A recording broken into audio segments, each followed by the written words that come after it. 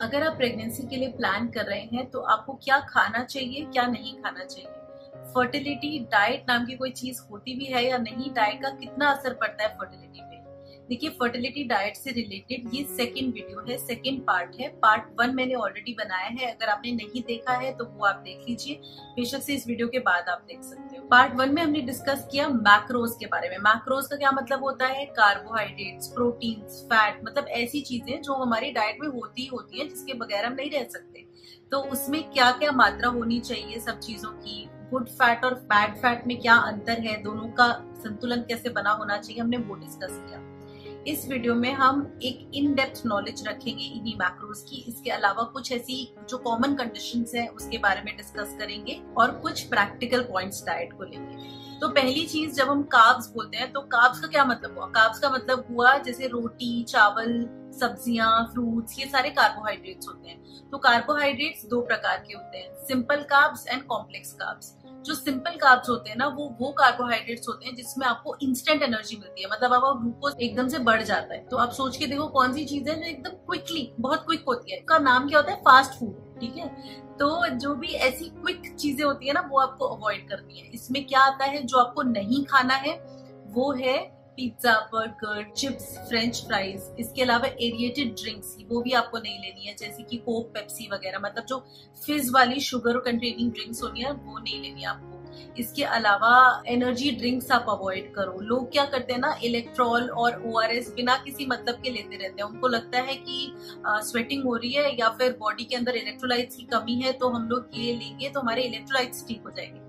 Electrolytes के अलावा आप देखो, इन एनर्जी ड्रिंक्स में ग्लूकोज भी होता है। और ग्लूकोज अगर क्रूड फॉर्म में एक्चुअल ग्लूकोज अगर आप ले रहे हो तो वो बॉडी के लिए कोई न्यूट्रिशन नहीं होता, उसका कोई न्यूट्रिटिव वैल्यू नहीं होती, वो हार्म ज़रूर करता है। तो आपको ये चीज़ें नहीं लेनी है। हाँ अगर डायरिया वगैरह है और डॉक्टर ने आपको सजेस्ट किया है तो आप ले सकते हो अदरवाइज़ इसके अलावा क्या आपको अवॉइड करना है? Canned fruit juices canned fruit juices का क्या मतलब है? जो आपके टेट्रा पैक के अंदर पैक्ड जूसेस होते हैं ना, जैसे रियल ट्रॉपिकाना वगैरह, उसमें लोगों को लगता है कि ये तो फ्रूट जूस है, ये तो एक हेल्थी चीज़ हम ले रहे हैं। बट एक्चुअली वो जो जूसेस होते हैं, उसके अंदर शुगर होती है प्रिजर्वेटिव होती है एंड अनफॉर्चुनेटली ऐसे बहुत केसेस आए हैं जिसमें ये पता चला है कि ये पैक्ड टेट्रा पैक्स जो होते हैं, उसके अंदर फंगस भी मिली है।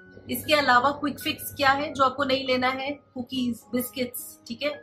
जो स्वीट्स होती हैं और डोनट्स ये सब चीज़ें, जो भी फास्ट फ़ूड जंक फ़ूड की कैटेगरी में आता है, वो आपको नहीं लेना है। इसी में टॉफी चॉकलेट्स ये सब चीज़ें भी आती हैं।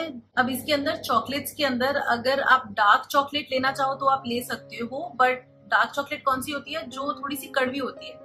तो जो भी बहुत मीठी टॉफी और चॉकलेट है, वो आपको अवॉइड कर इसमें ना लोगों को लगता है कि आइसक्रीम भी इसी का पार्ट होता है बट मैं एक फन फैक्ट आपको बताती हूँ, अच्छी बात है कि आइसक्रीम एक्चुअली इतनी खराब नहीं होती, क्योंकि आइसक्रीम में ना फुल फैट डेयरी यूज़ होती है।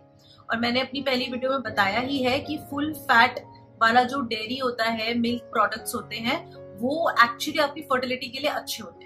तो आइसक्रीम इतनी बुरी नहीं है, बाकी सारे जो भी स्वीटनर्स होते हैं आइसक्रीम के अंदर भी बहुत स्वीट नहीं होना चाहिए बट वंस इन अ आप ले सकते हो। अगर आपको अच्छी लगी वीडियो तो उसे लाइक करें। इसके अलावा काब्स में वो कौन से कार्ब्स हैं जो आप ले सकते हो, वो वो कार्ब्स हैं जो दिए वगैरह आप रह ही नहीं सकते स्पेशली इंडियन डाइट में। तो उसके अंदर आता है रोटी वेजिटेबल्स फ्रूट्स ये सब आप ले सकते हो।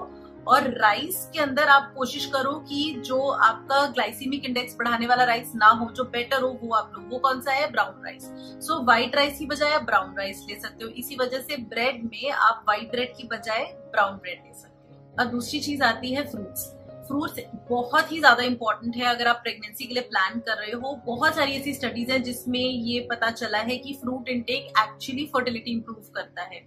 एक ऐसी स्टडी भी है जिसमें पॉपुलेशन में देखा था कि ज़्यादा फ्रूट्स लेने वाली जो फीमेल्स हैं वो, और दूसरी पॉपुलेशन में देखा था वो फीमेल्स जो कि फास्ट फ़ूड ज़्यादा लेती हैं। और ये देखा गया कि जो फ्रूट्स ज़्यादा लेती हैं, उनको प्रेगनेंसी टाइम टू प्रेगनेंसी उनका कम है age compare to fast food इसका क्या मतलब हुआ?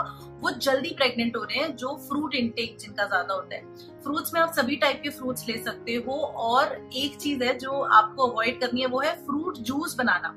तो अगर आप ऑरेंज ले रहे हो ऑरेंज का फ्रूट खाओ, आप फ्रूट जूस निकालने की बजाय। अगर आप ऑरेंज का जूस निकालते हो और आप जूस पी लेते हो तो जो बाकी बचा हुआ ऑरेंज होता है, उसको आप फेंक देते हो। एक्चुअली वो फाइबर्स हैं, जो अच्छे रेशे होते हैं ना, जो आपकी गट हेल्थ वगैरह के लिए इंपॉर्टेंट होते हैं, वो तो आपने फेंक दिए।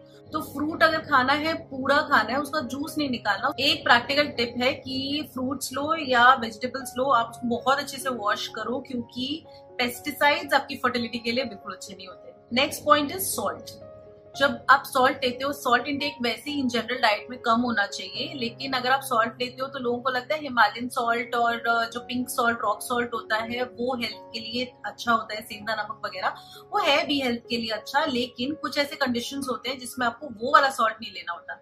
जैसे कि हाइपोथायरॉयडिज्म अगर आपको थायराइड की प्रॉब्लम है तो गवर्नमेंट ने एक्चुअली आयोडाइज्ड सॉल्ट इंट्रोड्यूस किया है, क्योंकि इंडिया में ना, और और भी बहुत सारी ऐसी जगहें हैं जहाँ पर थायराइड की दिक्कत बहुत ज़्यादा है, और थायराइड प्रॉब्लम के अंदर आयोडीन की कमी रहती है। तो ये जो टाटा का नमक और नॉर्मल नमक जो होते हैं, जो कमर्शियल सॉल्ट होता है, वो आयोडाइज नमक होता है, उसमें आयोडीन डाला हुआ होता है। तो अगर आपको थायराइड की प्रॉब्लम है तो आप आयोडाइज नमक लो, आप ये कोई और नमक मत लो। अब थायराइड की अगर दिक्कत है तो उसमें आपको कुछ चीज़ें अवॉइड करनी है, जैसे कि ब्रोकली पत्ता गोभी और सोया सोया प्रोडक्ट्स अगर आपको ये नॉलेज कहीं से भी अच्छी लगी तो आप सब्सक्राइब कर सकते हैं। सब्सक्राइब के साथ में एक बेल आइकन है, उसको आप दबा सकते हैं। इससे ये वीडियोस ज़्यादा से ज़्यादा लोगों तक पहुँचती है, जिससे बाकी लोगों की भी हेल्प होती है और बेल आइकन दबाने की वजह से आपको अगली कोई भी वीडियो आए, उसके नोटिफिकेशन पहले मिले।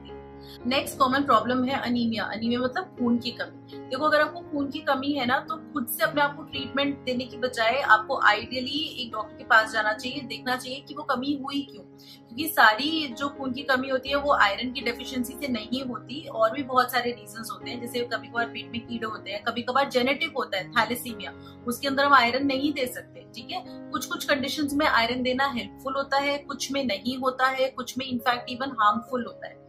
लेकिन सबसे कॉमन जो कॉज होता है, वो आयरन डेफिशिएंसी ही होता है तो इसलिए मैं वही डिस्कस करूँगी। अगर आपको खून की कमी है तो टैबलेट्स लेनी या ना लेनी, वो तो आप अपने डॉक्टर से डिस्कस कर सकते हो। बट खाने में क्या ऐसी चीज़ लें कि आपकी खून की कमी जो है, वो ठीक हो जाए इम्प्रूव हो जाए। तो खाने में आप ले सकते हो हरी पत्तेदार सब्ज़ियाँ बीट रूट जिसे कहते हैं, चुकुंदर, अनार। इसके अलावा अगर आपके घर में लोहे का बर्तन है तो आप लोहे के बर्तन में खाना बनाओ। जैगरी, गुड़ जो होता है that is also good source of iron आप वो भी ले सकते हैं। अगर आपको खून की कमी है तो आयरन के अलावा आपको विटामिन सी लेना चाहिए, जो खट्टी चीज़ें हैं, जैसे कि नींबू हो गया ऑरेंज हो गया। चाहे आप विटामिन सी की टैबलेट्स लो विटामिन सी आयरन की एब्जॉर्प्शन में हेल्प करता है तो वो भी आपका ब्लड इंप्रूव करने में, खून बढ़ाने में हीमोग्लोबिन इंप्रूव करने में हेल्प करेगा। कुछ है ना फर्टिलिटी सुपर फूड्स होते हैं। मतलब वो बहुत हेल्प करते हैं आपको फर्टिलिटी में और उसमें आता है सोचना, सोचने की फली, उसके फूल, उसके पत्ते, इसका सेवन आप किसी भी तरह से किसी भी फॉर्म में कर सकते हो। इसके अलावा एक प्रैक्टिकल टिप है कीप योर सेल्फ हाइड्रेटेड पानी बहुत सारा पियो। कम से कम ढाई से तीन लीटर पानी आपको रोज पीना है। पानी पीने से क्या होता है ना बॉडी के जितने भी टॉक्सिन्स हैं, वो सारे वॉश आउट हो जाते हैं। जो लोग नॉन वेजिटेरियन हैं, उनके लिए एक प्रैक्टिकल टिप है कि आप आप जैसे मीट वगैरह लेते हो तो उसके अंदर आपको रेड मीट अवॉइड करना है। ये मैंने अपनी फ़र्स्ट वीडियो में भी डिस्कस किया था। तो रेड मीट तो आपको अवॉइड करना है। इसके अलावा जो आप चिकन वगैरह लेते हो, उसका क्वांटिटी थोड़ा कम रखना है। एक्चुअली क्वांटिटी आपको इसलिए भी कम रखना है क्योंकि जिस तरह से ये रियर किया जाता है, बनाया जाता है, वो बहुत खराब है आजकल। क्योंकि ये चिकन या कोई भी मीट बनता है, उसके अंदर हॉर्मोन्स का उपयोग किया जाता है केमिकल्स का उपयोग किया जाता है, उसका प्रिजर्वेशन बढ़ाने के लिए एंटीबायोटिक्स यूज़ की जाती हैं और हम ये सारी चीज़ें खा लेते हैं। तो ये एक वजह है कि आपको नॉन वेजिटेरियन फ़ूड थोड़ा सा कम रखना है। वाइटामिन डी एक बहुत इंपॉर्टेंट फर्टिलिटी वाइटामिन है और चलो वाइटामिन डी सप्लीमेंट्स की अपनी जगह है बट वाइटामिन डी के लिए आप सनलाइट सन एक्सपोजर आपके लिए इम्पोर्टेंट है। तो रोज 10 से 3 बजे के बीच में थोड़ा बहुत सन एक्सपोजर आपका होना चाहिए। Another practical tip is fasting मतलब व्रत रखना हमारी इंडियन डाइटरी सिस्टम में व्रत रखने को बहुत इंपॉर्टेंस दी गई है हमेशा। चाहे आपका रिलीजियस बिलीफ हो या अदरवाइज़ भी फास्टिंग एक्चुअली हेल्प करती है। चाहे आप पूरे दिन फास्ट करो या फिर इंटरमीडियंट फास्टिंग रखो। फास्टिंग से क्या होता है ना, जब आप व्रत रखते हो तो आपका जो इंसुलिन लेवल्स है ना, वो कम होते हैं। आपका जो शुगर है ग्लूकोज है, वो ठीक ठाक लेवल पे आ जाता है, उसमें हेल्प मिलती है। इसके अलावा एक चीज़ होती है जिसको कहते हैं ऑटोफिजी ऑटोफिजी मतलब अपने आप को खा लेना। मतलब जो सेल्स होते हैं ना बॉडी के जो एक्स्ट्रा सेल्स हैं, जो खराब हैं, जो अब बॉडी के किसी काम नहीं आ रहे, लेकिन बॉडी को हार्म कर रहे हैं। फास्टिंग के दौरान, क्योंकि बॉडी के अंदर एनर्जी नहीं है तो इसलिए बॉडी ना इस तरह से एनर्जी निकालती है कि जो बॉडी के डेड खराब सेल्स है ना उसको खा जाती है तो एक तरह से क्लेंजिंग हो जाती है। तो इसको डिटॉक्स भी कहते हैं, ठीक है? आप कुछ भी आपको डाउट है, आप पूछना चाहते हैं या आप बताना चाहते हैं कि नेक्स्ट वीडियो आप किस टॉपिक पे बननी चाहिए, वो आप कमेंट सेक्शन में लिख सकते हैं। आपके जो कमेंट्स आते हैं, उससे हमको अगली वीडियो बनाने में हेल्प मिलती है और हम वो वीडियो बनाते हैं तो उससे शायद कहीं ना कहीं आपकी हेल्प भी होती है। Thank you for watching and good luck with your fertility journey